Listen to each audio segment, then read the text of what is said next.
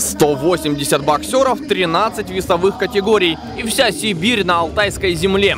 Боксеры будут выяснять отношения на ринге ровно 5 дней. Лучшие представят сибирский регион на первенстве России. Мотивация запредельная. Я думаю, что это именно правильное событие в непростое время. Поэтому всем желаю борьбы за титулы, отобраться на Россию и отстаивать честь России уже на международной арене. Сейчас это более чем актуально. То, что первенство Сибири пройдет в Барнауле, мало кто сомневался. Алтайский край уже принимал турнир по боксу российского уровня, и все остались довольны. Федерация бокса России за проведение соревнований ставит нам отлично. Я знаю, что ребята здесь работают, у них очень мощная, хорошая команда, и уже на протяжении нескольких лет они принимают на высоком уровне и проводят эти соревнования.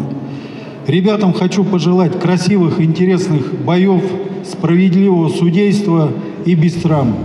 А еще на открытии боксеров приветствовал взвод почетного караула Барнаульского юридического института.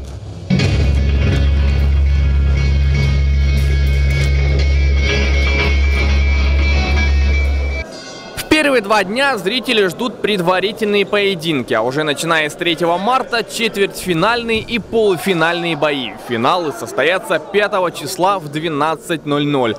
Там мы и узнаем, кто поедет представлять наш регион на первенство России. Дмитрий Дроздов, Андрей Печоркин. День с толком.